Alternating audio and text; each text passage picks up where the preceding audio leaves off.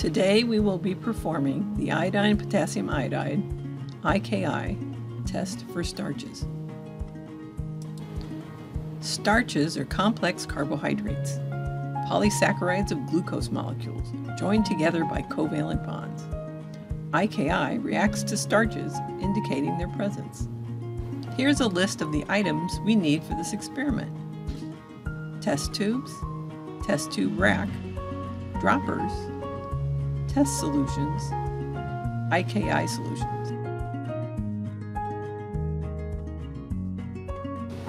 Label your tubes 1 through 8 and place in the test tube rack.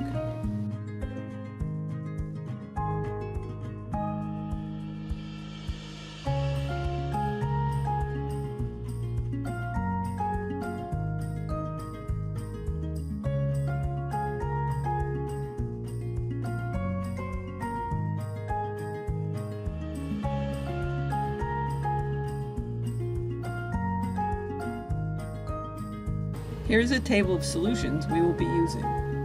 1 water, 2 starch, 3 sucrose, 4 glucose, 5 apple juice, 6 coconut water, 7 corn juice, 8 soy milk.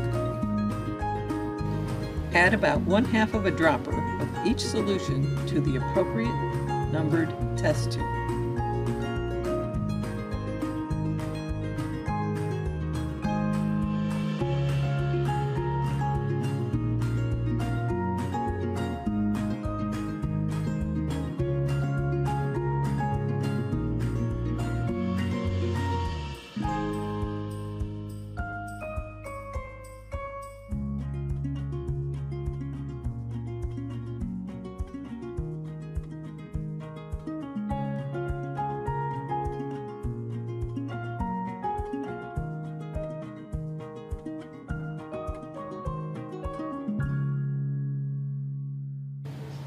Add 5 drops of IKI to each test tube and swirl well.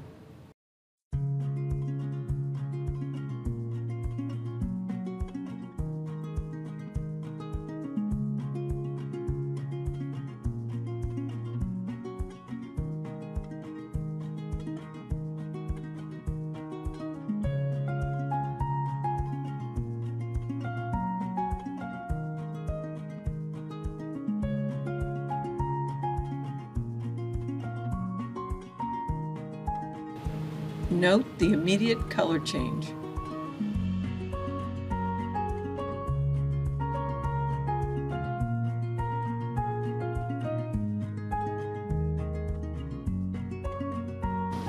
Test tube number one, water, will give a negative result, acting as our negative control.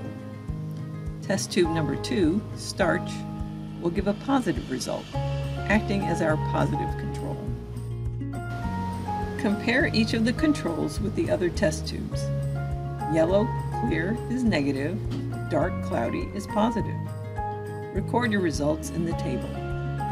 In this group, only corn gave a positive result.